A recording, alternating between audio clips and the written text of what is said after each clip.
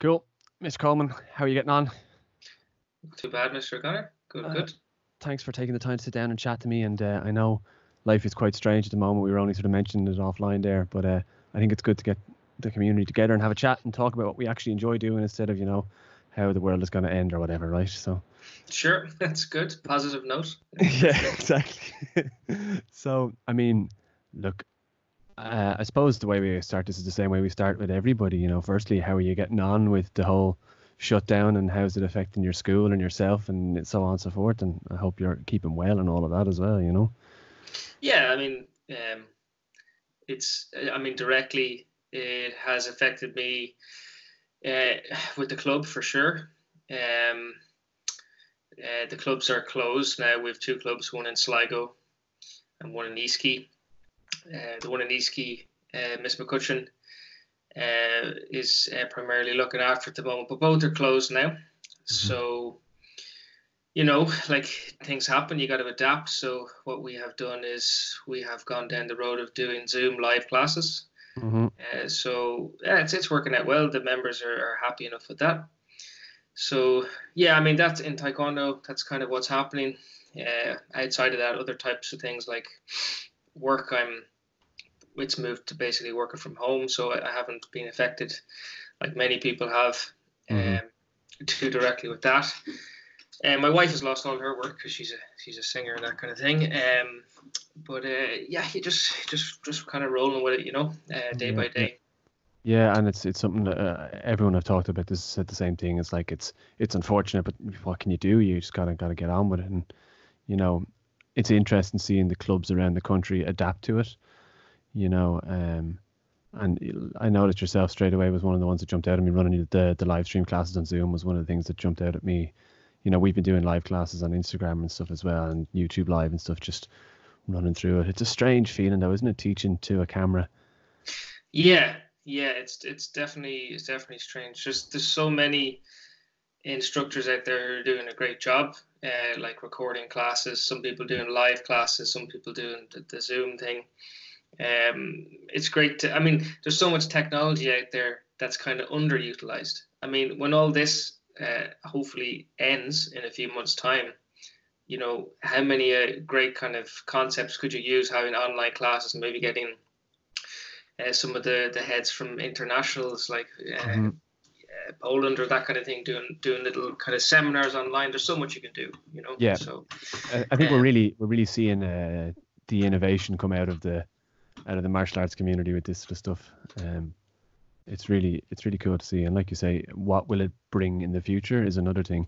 But also, I think from a kind of pragmatic point of view, like I mean, it's really important for clubs to keep a presence with their members because if this drags out for another couple of months, you know, people will forget. People will sort of go, oh, I don't know, and maybe not come back. And how much do you stand to lose out of that as a club, just by you know sheer lack of participation, right? Yeah, absolutely. Trying to keep any kind of touch point you have with your members is very important for sure. Which whatever way you do it, you know, I mean, there's still some people out there who are more tech savvy, some people are less tech savvy, uh, so you've just got to do what you could do. That's um, true. Yeah. That's true. So I mean, like, let's let's let's sort of shoot the breeze a little bit about uh, yourself and your journey through Taekwondo and how you got to where you are and what you got to do. And uh, you know, I know it'd be it, it's fascinating. I don't know lot about your your own journey. So like, why don't you tell me how you got to or how you got involved in Taekwondo and why? Sure. Yeah. Um, it's a, it's an interesting uh, story. I, I didn't start Taekwondo until secondary school, so I was in just coming out of fourth year, going into fifth year.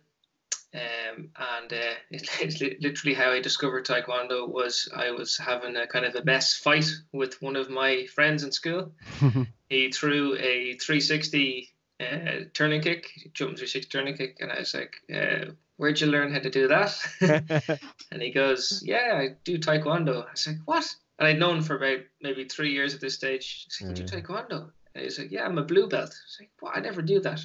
It wouldn't so have he, jumped you had I known such things.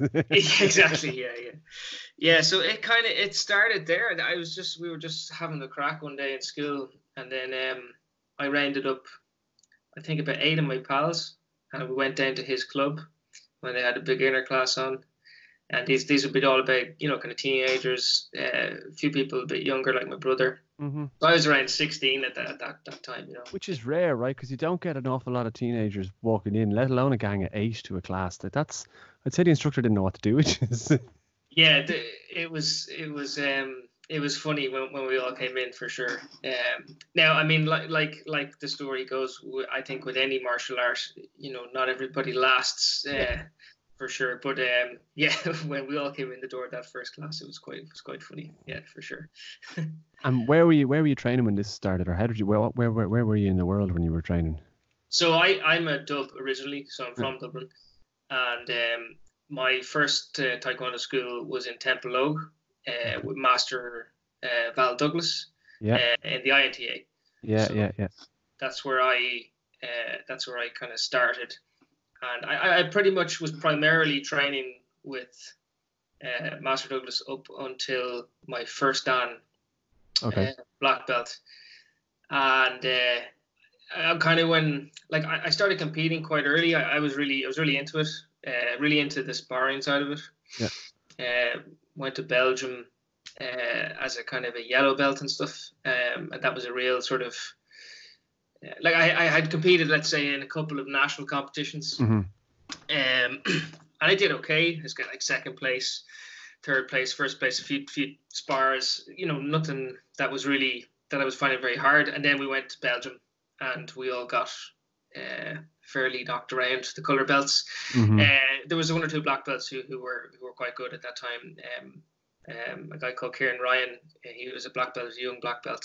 Um, was an excellent uh, athlete, mm.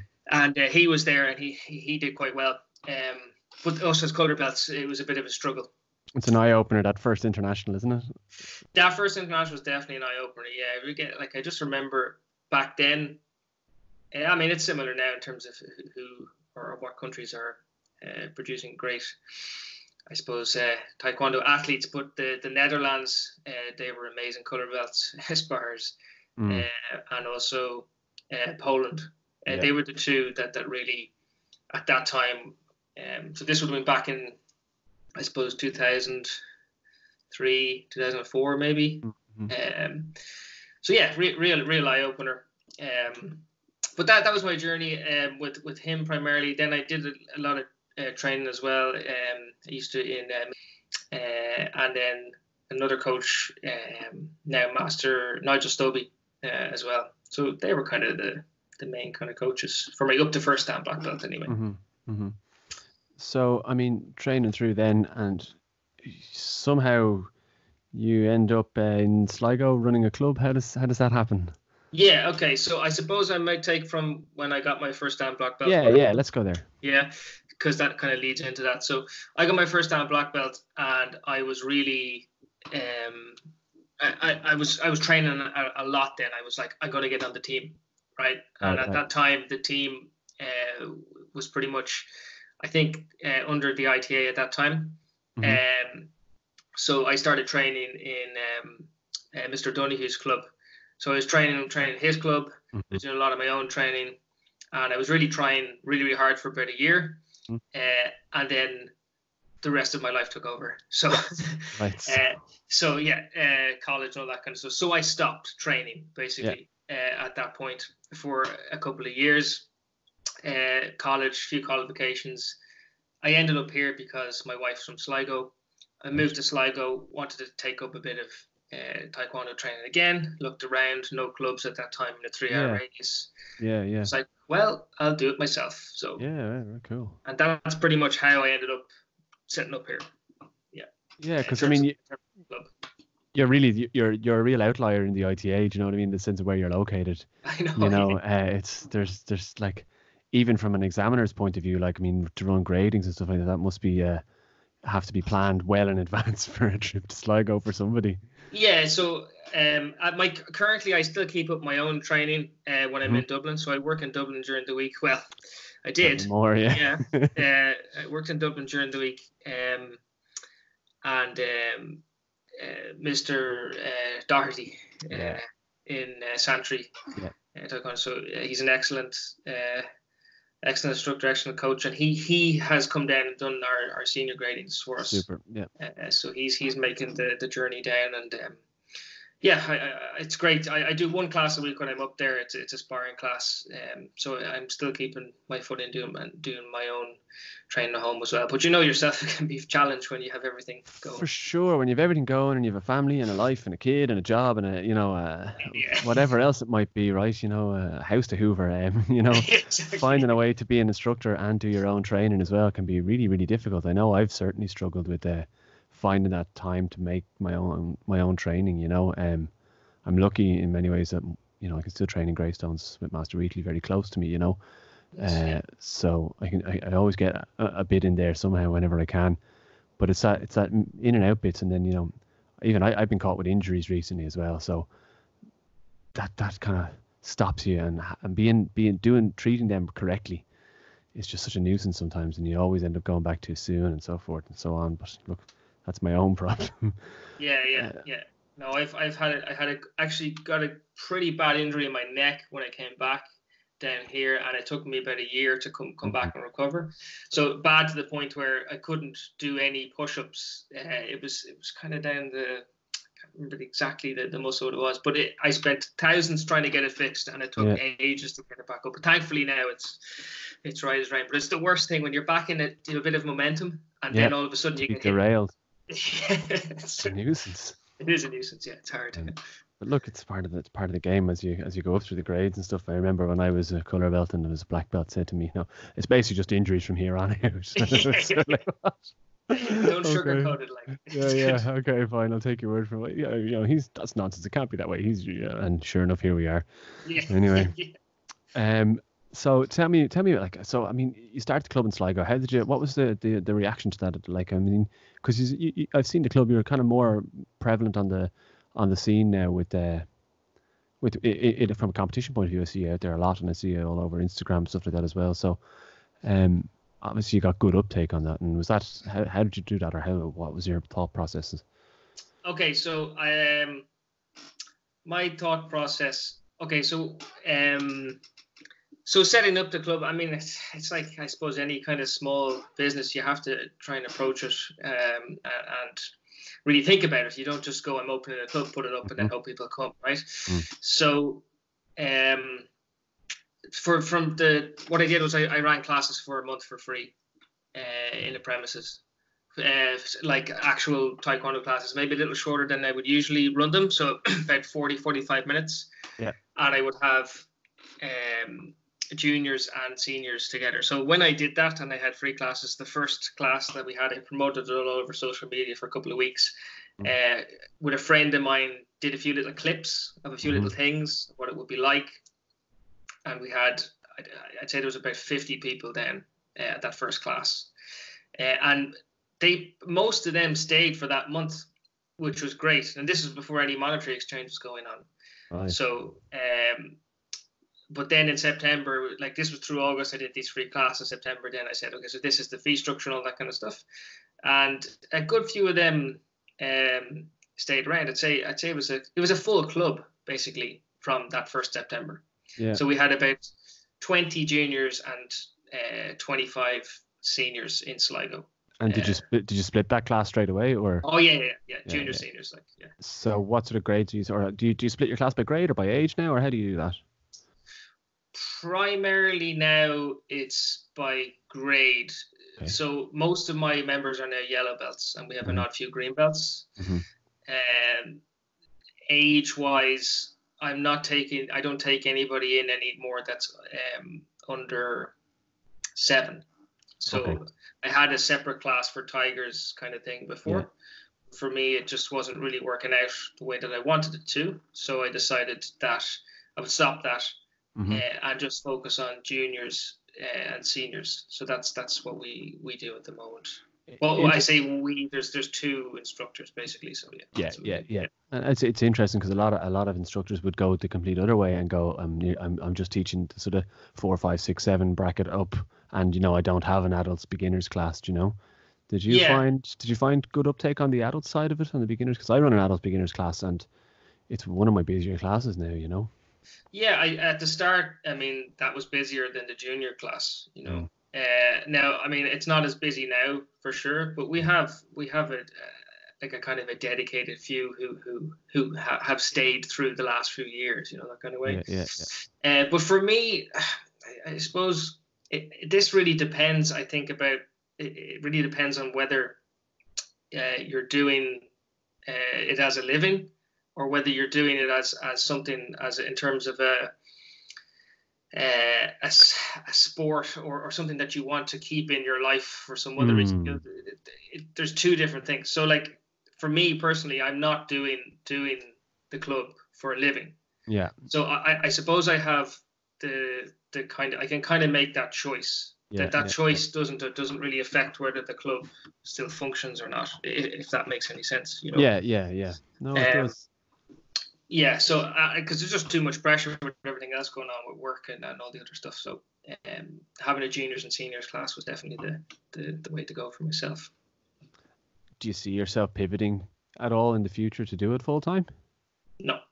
No, it's it's always going to be a, a, a separate thing to your commercial endeavors. Uh, yes, and I suppose I could maybe digress about this slightly. Why I, I would choose that. Um, so I spent quite a lot of time as a full-time musician. You're pre- preaching to the choir here, yeah. yeah, I, I, I know yourself as well playing bass. So I spent a long, long time in college studying that, uh, and I spent a long, long time as a full-time musician and drum teacher, bit of a mm. piano teacher, and I kind of hit a plateau with that, um, whereby it, I felt like that it wouldn't really change. Mm. So kind of uh, yeah, so for me, I was losing all the enjoyment out of the art, right? Okay. Oh, so the art then was like, okay, so I'm not enjoying this anymore. Uh, I need to figure out something else that maybe I can do so that I can enjoy the art. And the same thing for me applies to taekwondo. Yeah, and I, I mean it's I, I have the I, a near carbon copy story to you. You know, I mean gigging and training and producing music for years and years and years, and I know that frustration of trying to make your life around something that's as unstable as that. You know, um, so it is one of the things that we always talk about here. It's like you know we talk about going full time, and it's like you know, well, remember when you did the music full time and eventually you ended up hating that thing you put 10 years of your life into? Yeah. I mean, it's not that I ended up hating music and stuff. I still play all the time and it's great crack. But uh, it is. I know what you mean. I'm, I'm very because I'm I'm similar to you in that I don't run. My, I'm not dependent on my club to be my income. You know. Yeah. Um, and it does, like you say, it gives you that freedom to not have to make it make it work all the time. You know, you're allowed to experiment with it a little bit. Yeah. Um, but and again, I suppose just to clarify, because I know people listen to it, like this is only a it's a personal choice. You know, it's not to say mm. that you shouldn't. No, like, no, no, at all. Plenty of people who do it out there full time uh, and do a fantastic job of it. Yeah. Uh, but for me, I, I know from the music that if I was to to to do this full time, that I would end up not enjoying it as much as I do now. And that's really important. Is that if you don't mm. enjoy what you're doing, it's never going to last. You need to have uh, an enjoyment factor coming back for yourself. Otherwise, it just burn out. So it's very important. Yeah, I mean that's true. I think that's true across life, not just in martial arts or music, right? Yes, for sure. Yeah, yeah, yeah. It's uh, one of the things that I always sort of think about. Um, the you know uh, uh how relatable that is to to to to to your actual training, right? You know, I mean, because I get it all the time, and I'm sure you do. It's like, oh, you know, sir, I I don't like sparring, or sir, I don't really enjoy patterns, or whatever it might be. Can I not do this part of it? And you know, there's a little bit of, you know, well, no, this is what we do, right? You know, and so you're gonna have to find a way to enjoy this side, or else, you know, you're not, and that'll be it, and this isn't for you, right? You know, and yeah, I think that's just a really nice philosophy that rings true all the time. Like, um, um, so yeah, I mean so tell me more about how you, uh, if I mean, so how's how are you placing the club in in your brain? Then I mean, is it a are you going to drive it as a competitive club to try and breed black belts that will go and be national fighters, or are you is it just a place to come for people to train and and you know if they succeed they can succeed in their own right and uh, you'll support them throughout that endeavor? How, how, what's your what's the what's the purpose yeah. of it, right? Yeah, it's it's it's, it's a good question, and uh, I suppose the answer when I started was I was it was fluid. It was to see what would kind of evolve. Mm. And um, from the very first competition where I entered my students in, uh, onto the mats, uh, and you know, like performing Chon-Ji Mm. uh, on the mats, Mm.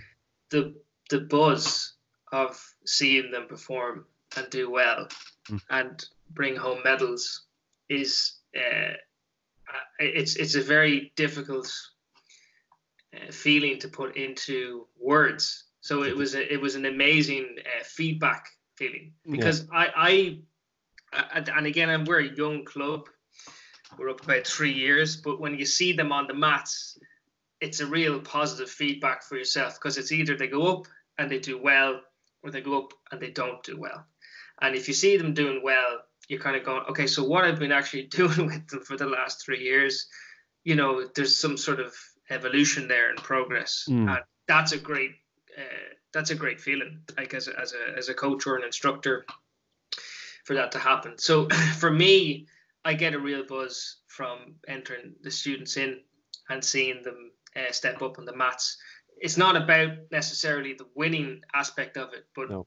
It, it's when they even say their first competition and they they you know uh, my favorite thing is sometimes at a grading you'll ask um, ask this, the younger students where does taekwondo come from you Mm. know and they'll be looking around they go sligo yeah, and, they- yeah. and it's it's so funny because it it they are they just don't see anything else except their club you know yeah, yeah. and then they go to these competitions and they go wow look at all This these whole people. world, yeah, yeah.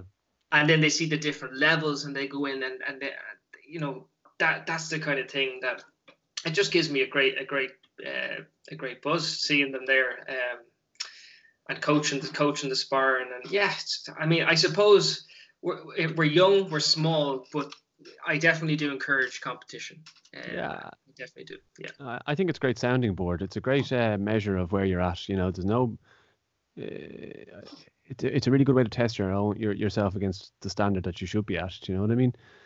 Uh, you know, cream rises to the co- top and all of that. So, um, and like you, I, I'd be very much the same. We don't, you know, I, I encourage students to go and compete and be involved in it, and, and I would echo your enthusiasm for that enjoyment of watching. You know, I've been on the Yeah. sidelines, you know, and sort of not coaching uh, but you know, she's maybe shouting instructions to people. you know? um, but it's a it's it's a great it's a it's a great feeling to see that that like you say that feedback loop that Yeah. this the, the product of the work that you're putting into these people and the work that they're doing. You know, um, it's it's a really good thing to see. Um, but I mean, so There's also, I suppose, just on that, like the ITA tournaments, you know, I mean, the, the quality of the other clubs, right? I mean, Yeah. you see, see, and it's like I, I remember uh, if we just skip back to my first international competition, and the Mm. level was so much so different then, um, than uh, in terms of uh, the, it, the Irish level seemed to be so different then than it is now.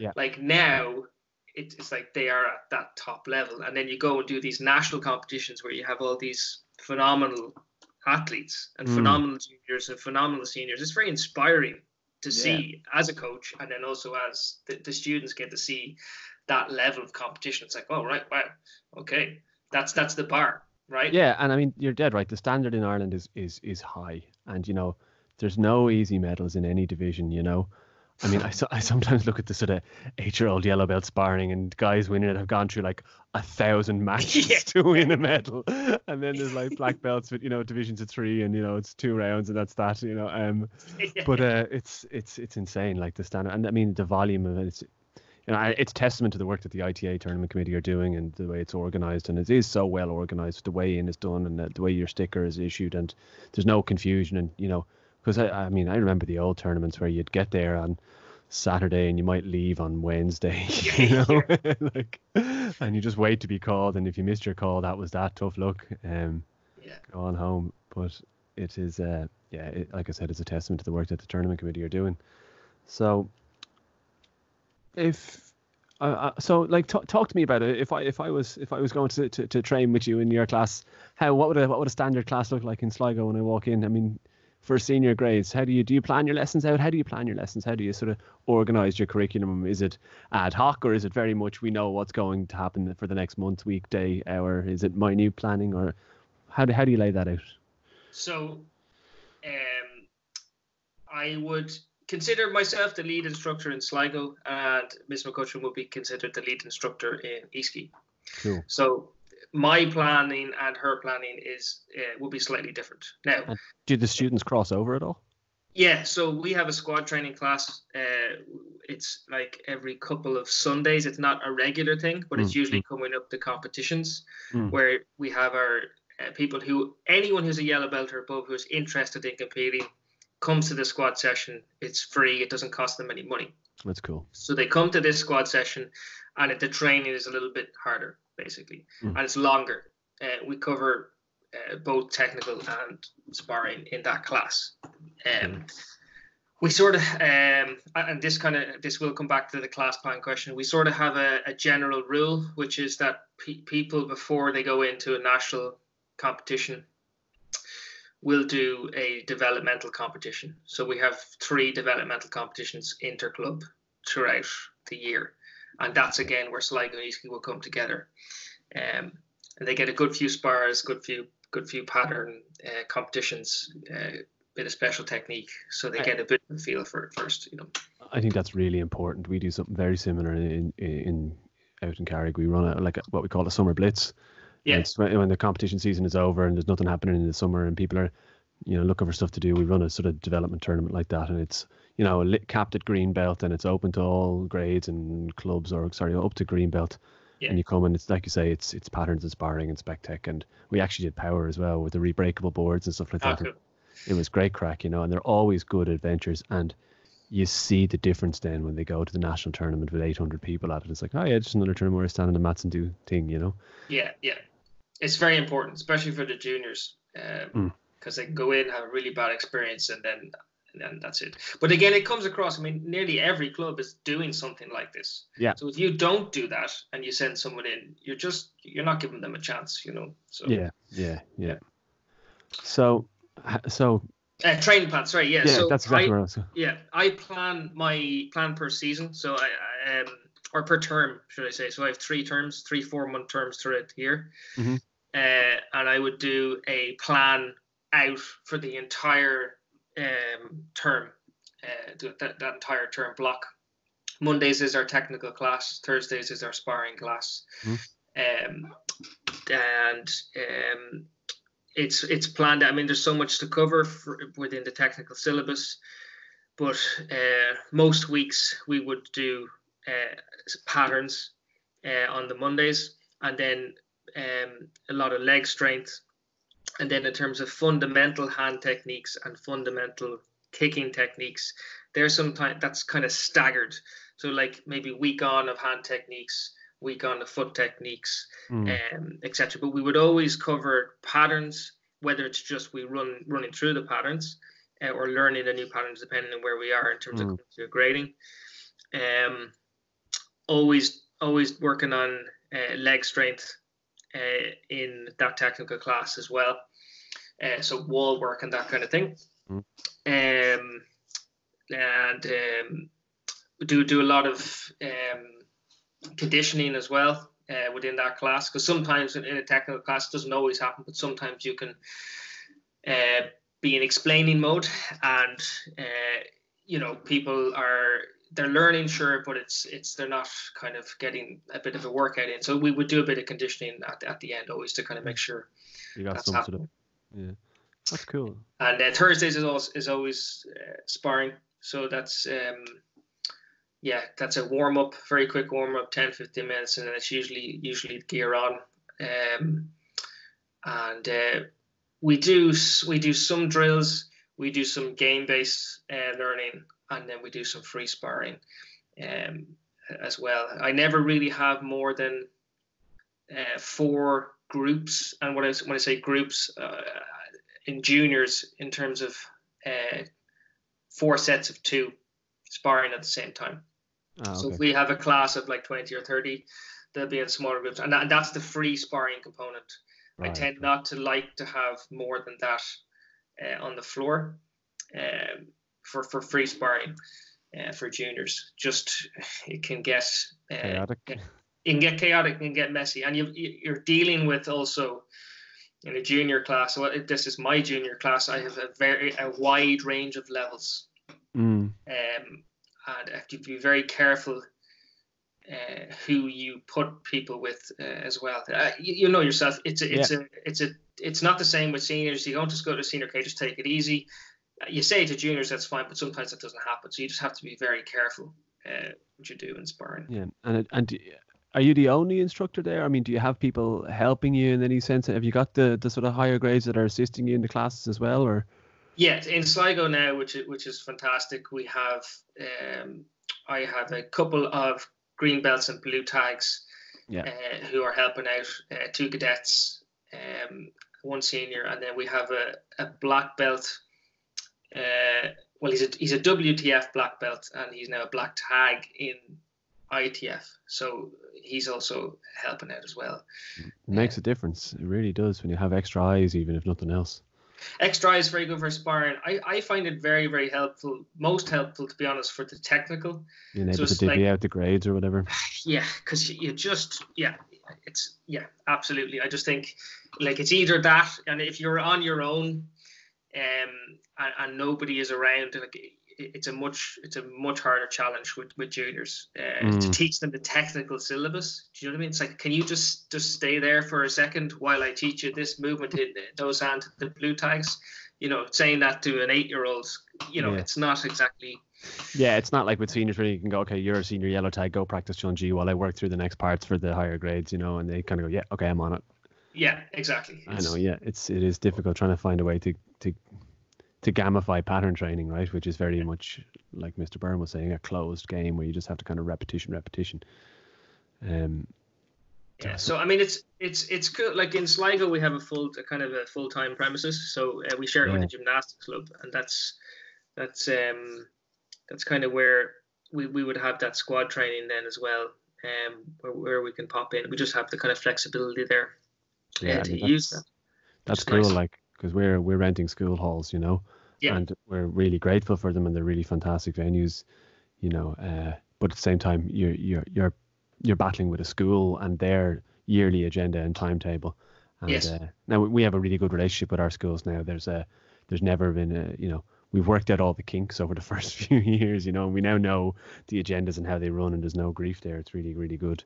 But at the same time, there's days where you're like, ah, any chance I could get in on a Monday? No, I can't. Sorry. You know, Yeah, uh, yeah, yeah, yeah. just to do those extra sessions or whatever, you know. So you have to find another way around that problem. Um, I, I'm interested that you picked up on you have a patterns day and a sparring day. Have Mhm. you got students that are exclusive to one day and avoid the other one like the plague? Uh, no, not really. I mean, there's people in who do come to our sparring class uh, who sometimes say, "Look, I, I'm not, I'm not feeling up to sparring. Sparring. I'll do the drills." You know, um, that happens the odd occasion. Most of the juniors, to be honest with you, spar no problem.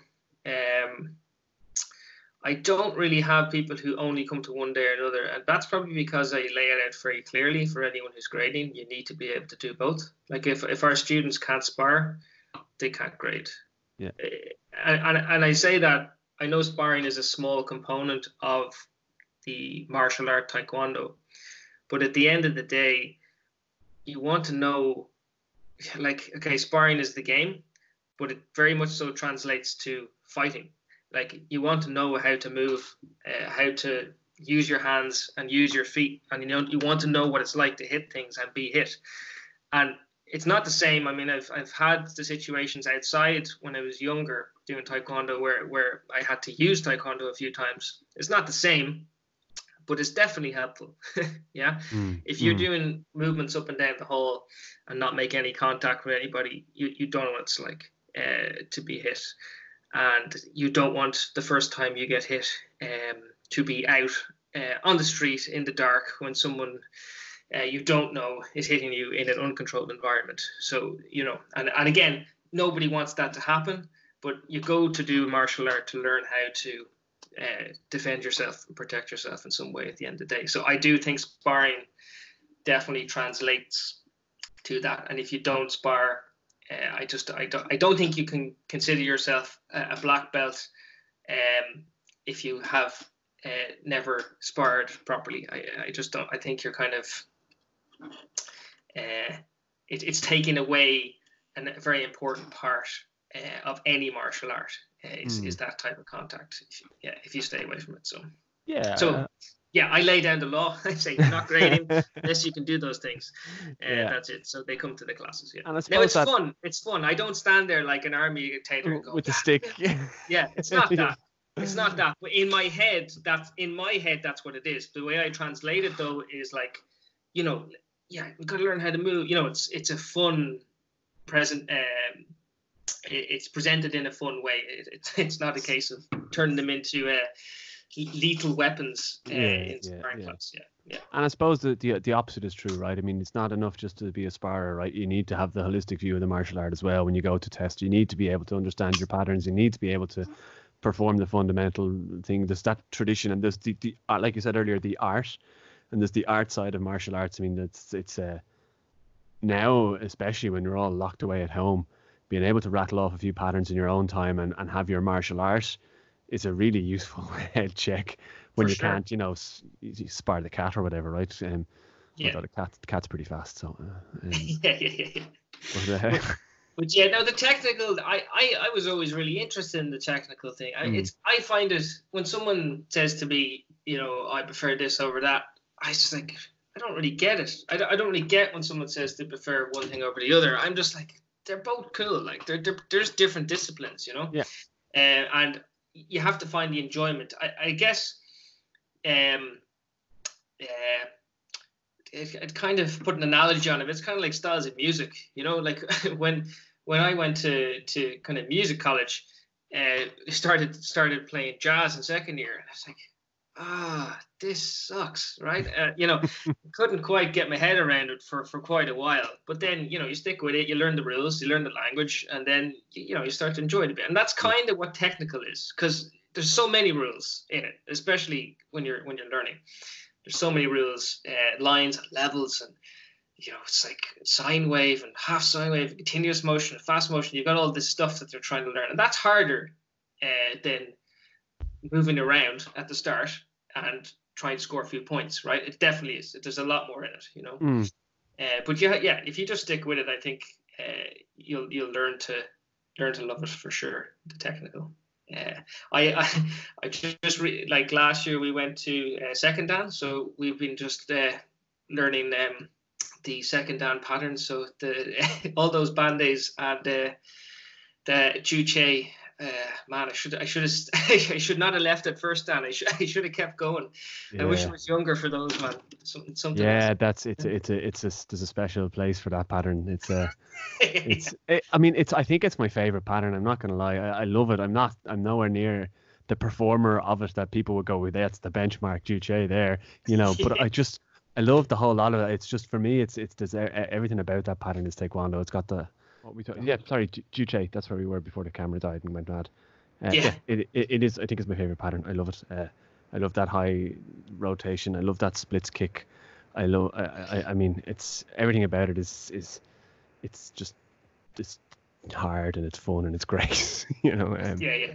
I think uh, I actually else. think Choong-Jang is a harder pattern than, than yes, in just, terms of the mem- memory type thing because it's so long it's it's just all over the place as well. You're turning left, you're turning right. It's a it's a side kick. Is it a high? Is it an open? Is it close? Uh, uh, it's it's just it's it's There's one of those very patterns. very strange stepping motions in that as well. Yeah, yeah, uh, yeah.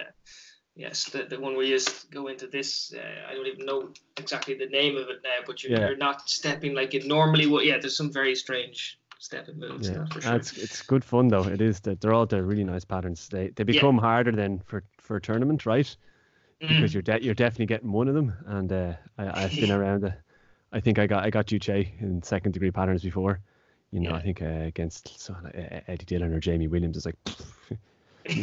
stand back, guys! Watch out! You know. so uh, you know, yeah. Yeah. Whatever.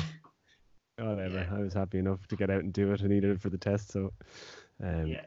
But yeah, it's it's um it's. It can be it can be tough, I think, as a as a black belt. Um, competing. I mean, I, have competed a few times now over the uh, over the last few years since I come back, mm. and uh, I mean, if it's just such such a jump, you know, as soon as you hit first dan black belt, it's just like welcome to the dark side. Yeah, yeah. I mean, it's like they, they, they talk about the jump from junior black belt to senior black belt being hard, and I think the jump from senior color belt to senior black belt is just I don't even know if it's makeable unless you're at the standard there. That's you know if you come in, it's it's a unless you've been a junior color belt that just turned 18 maybe you know and went to black belt. But even then i think that you're right. The jump is i mean i often tell people the story that when i first went to first degree black belt i went sparring and the first match i got was adam shelley.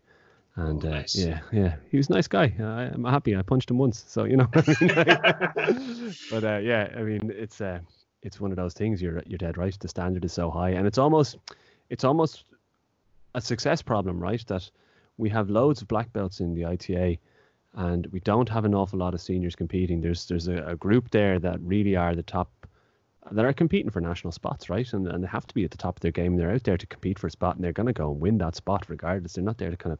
It's not a game as much as it is, you know, a serious sport for them. So, yeah. I mean, yeah, I, I often thought they'd do well with a B a B classification or a B division, but you know we, we get killed then with no no having no umpires, you know. Yes. And that's that's I think why that's probably the biggest reason why we don't have a, a B black belt division sparring or whatever it is. That and time, right? We don't have the time or the umpires to to put yeah. on bees. So I think everyone kind of hangs around, waits till they turn sort of veteran, and then they go, okay, maybe I can stump in there and maybe have a kick around with the vets, where I'm yeah. not running the risk of coming across three-time world champions. So, but nowadays you are. They're all kind of moving off into veterans now. No, my look. I go 30, what, five this year or something. And Hong will jump into that division for the crack. yeah, yeah. I, I, I'm 35, so I, I did vets there. Uh, Munster Open, I did the vets. Um, mm. But still, yeah, I mean, still, there's some some fairly fairly fit and strong vets for sure. Absolutely. I'm not, I'm not trying to play down that division in any way, shape, or form, right? Uh, yeah. yeah. Uh, I suppose I'm just saying by by comparison to senior internationals, it's you'd like to think that there's more there's more uh, opportunity there to sort of have a competitive match than just be kind of making up the numbers. I mean, may, maybe there's scope. I mean, I, I, I, honestly don't know how many black belts there are that, that would want to compete, but maybe not at that that level. I mean, if I mean, it can't be too hard. You get somewhere central, you get a hall for a day, you mm. know. Yeah. Um, you have a black belt competition that's not focused on I don't know, um, national team uh, kind of standard. I'm not I'm not sure if that's that's a that's a great thing to do. But if people are black belts would like to do a bit of competing but don't want to step up to that level, it's it's certainly something that mm. might work. I know? mean, the other side of it is, you know, taekwondo's very fair that way, right? You're either at the standard or you're not, you know, and if you're that's not, that, that's kind of on you to go get there, right? Um, it just that, that road might be harder than than it was than it, it, would have been had you done the work 10 years ago you know? Yeah, yeah, um, yeah. like so I, I don't know maybe it's doable maybe it's not i don't know if it's ever doable who knows? But it's a good problem to have you know um, yeah success problem for sure it is a good problem absolutely. Too many good people yeah. Yeah yeah no we're in such trouble. Yeah, yeah. um and it is it's interesting it's great to see you know i mean it, it, it's great to see the standard of the tournaments go up and up and up and i mean is that, is that is that your plan now to keep competing there, going through on your? I mean, what's what's your your personal development plan? Because I know you said you know we've talked being an instructor, we've talked being club, you know we've talked your your previous journey. What's what's the future hold for you as a as a martial artist and not just as an instructor? Um. So, yeah. Um. I enjoy my training uh, that I'm doing with uh, Mr. Doherty at the moment. So my, I suppose keeping the training up uh, as much as I can. Um, uh, I guess my next goal really is uh, is fourth dan. Fourth dan to me is a quite a I don't know. It's like first dan was like a big uh, step. Fourth dan mm. for me is in my head is another big step. Uh, so obviously I have to get the third dan first. Uh, but that that's kind of my my long term uh, goal short term goals really in between that is to make sure that I'm still stepping on the mats a bit in terms of competition. Um, just trying to keep fit. Um, yeah, not try and be conditioned that I'm not getting injured. Uh, when I came back first, it was very funny. I did a sparring kickboxing seminar uh, with Mr. Louis um, up in Dublin, the indoor arena where the, where the tournament was was going to mm. be, and um, I went in thinking I was, you know, 21. Uh, and I really wasn't. I pulled. I, I got two massive injuries from that. Uh, uh, hip was out of place for, for months and uh, had a really really bad um, uh, black eye as well. So it was quite funny. But yeah, I learned my lesson there. It was like you need to be conditioned. You need to you know you need to do conditioning and that kind of thing. So I, I do regular do a bit of weight training and stuff like that just to try and keep the body from falling apart. So yeah, the goal is don't fall apart and hopefully hit fourth dan. That's that's the the goal. Yeah. Nice. It's nice. There's a plan there, you know. Um, yeah. It's always good. It's always good. Um, so where here's a question I've been asking everybody, and I'm going to ask you as well. Taekwondo has become, or it hasn't not has become. I say it all the time, but it is a traditional martial art where we all line up and we have the dobok, and it's, it's very kind of regimented and structured, and you know, it has that perception uh, of you know almost like the 1980s martial arts films, right? Mm. Uh, and uh, how do you think that a martial art like that, with a perception like that, is st- stays relevant in a, in the modern martial arts world, right? Because before you didn't know what went on in the dojangs, you, you unless you joined, right? Whereas now the internet makes everything exposed and visible and open to critique, right? So how do you how do you think taekwondo positions itself to stay relevant when there's the rise of MMA and stuff like this? And you know, uh, I, I'm curious, what do you think taekwondo is in that sphere? How does it stay? How does it? What What's your thoughts on that one? Okay, mean, I mean the traditional martial arts side of it's very important for. Um, I mean, the, I mean the, the, the tenets of Taekwondo, you know, the moral code that's there. I mean, that isn't necessarily there. I, I, I suppose I have to hold my hands up here. I don't really follow MMA, uh, and I don't really, I don't really, it doesn't really interest me that much, to be honest with you. Uh, I mean, the athletes are, yeah, strong, cool, you know, but there's just too much, there's too much nonsense around it for me um, the sort of pre-fight build-ups and all that kind of stuff. I just just like ah, whatever. It uh, it doesn't do anything for me. Mm. Uh, the discipline like of a traditional martial art and uh, being dedicated and showing up and having the grit to actually keep going to get to the next level, whether it is to learn the, the next techniques or anything like that. I think there's a very important thing that that um, is getting depleted uh, in our modern day society where everything is like instant you know mm.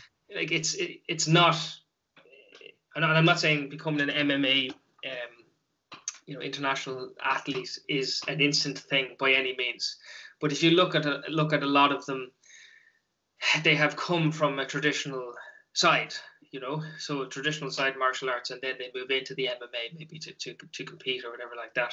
Do you think that was just um, because there was the lack of kind of purpose built MMA facilities, whereas now we're seeing that become more commonplace? Um. Okay, so I suppose what I, I would think that it is really about is about the money, right? I mean, at the end of the day, you go in there and you spar uh, I wouldn't say spar. You go in, you try and win, and if you win, you you get paid.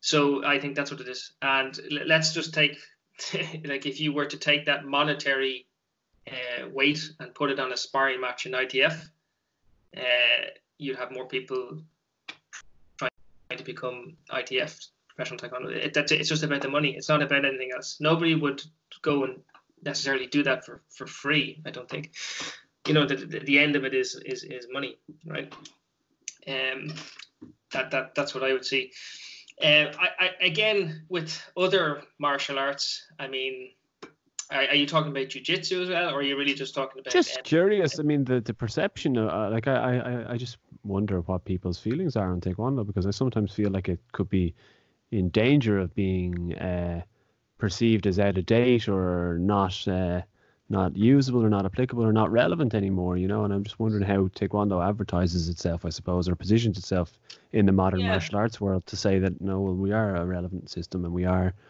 we have, you know, properties and characteristics that are valuable.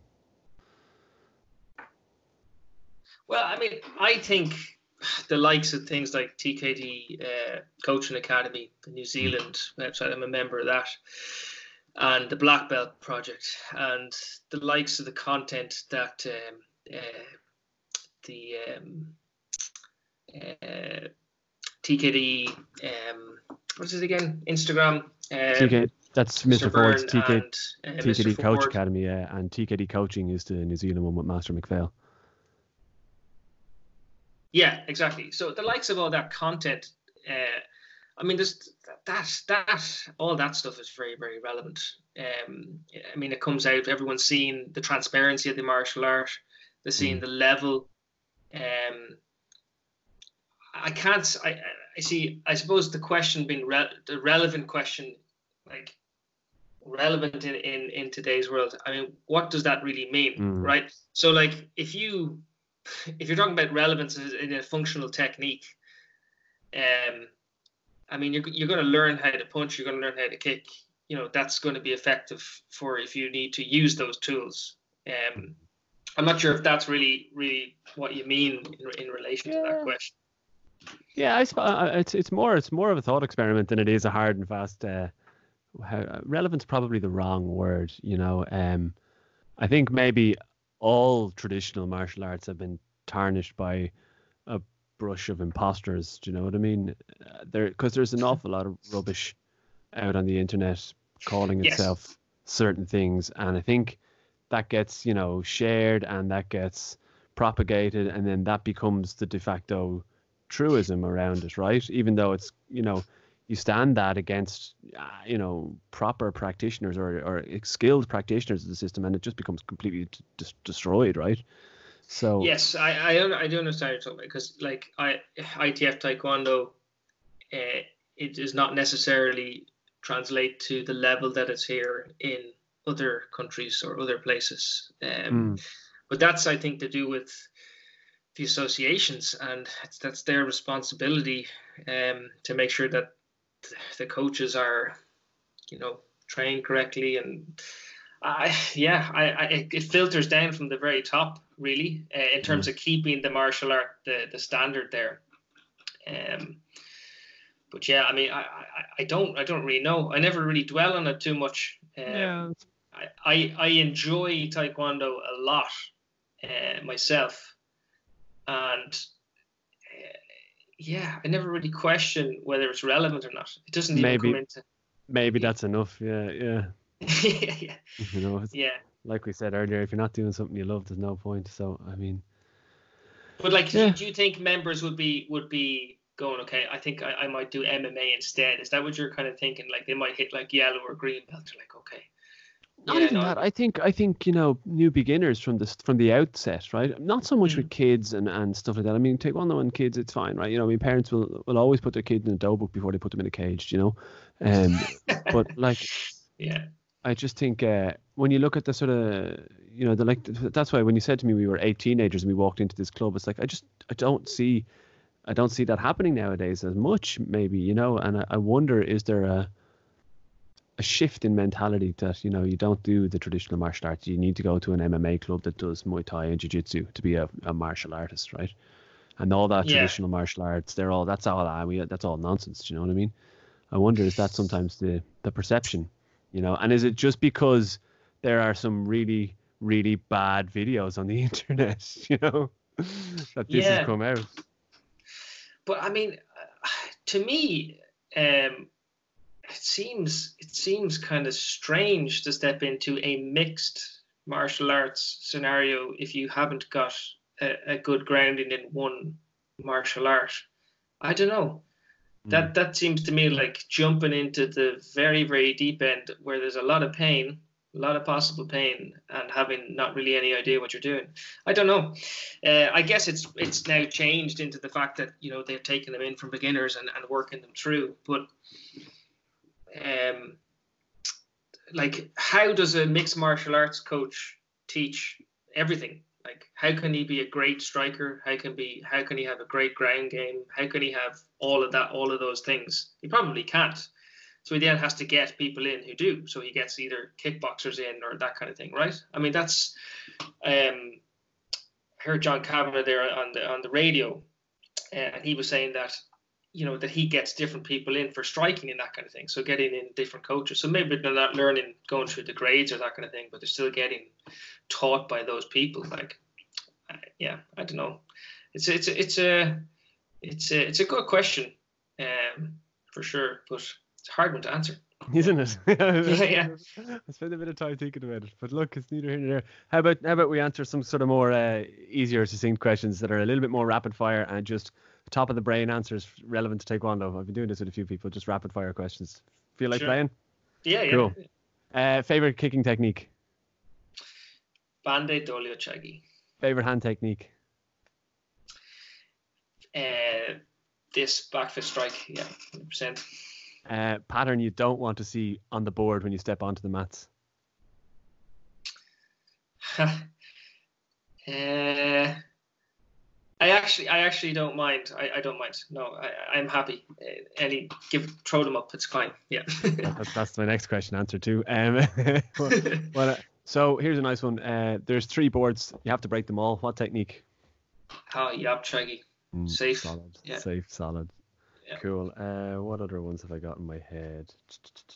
Ah, no, look, that's it. Just sort of fun, nice, fast, easy, nice. So, I mean, look, I've I've had really good fun having having chats with you about this. It's really cool, and I, I'm glad to see new schools popping up around Ireland in the ITA as well. You know, especially out up in in Sligo, where you know we have to send you we'll have to send you a, a bigger telescope so you can see the rest of us. Um, and uh, you know, I think it's great that you're doing what you're doing. I think it's great to see the, the club so active and so successful on the circuit already. And I'm sure you'll have a, a, a really good future. And I look forward to kind of being in touch again. You know, it's been really, really good having a good chat with you. So, I mean, just for people who might be listening, how can people get in touch with you, or how can they find you if they want to go training in Sligo if they find themselves lost someday? yeah. Uh, yeah, so um, sligotKD at gmail.com.